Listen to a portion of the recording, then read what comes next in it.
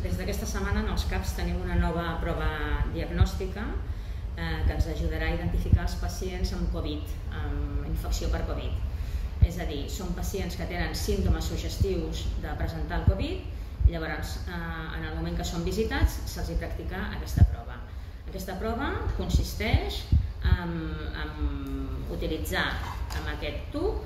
primer el que fem és col·locar unes gotes de la solució tampó,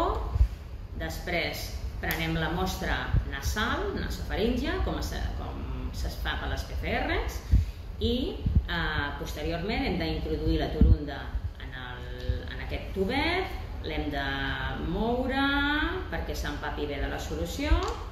hem de pressionar i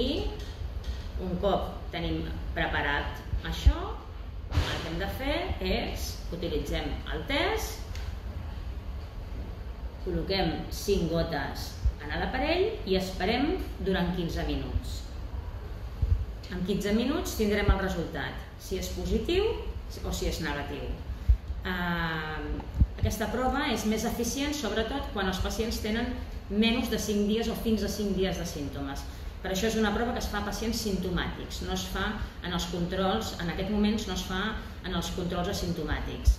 Eh, si la prova surt negativa però el pacient és amb una alta sospita perquè té una pneumònia, perquè té una alta sospita de malaltia per Covid, eh, llavors eh, es pot repetir la prova i si continua amb la sospita el que se li fa és una altra prova diagnòstica com és una PCR.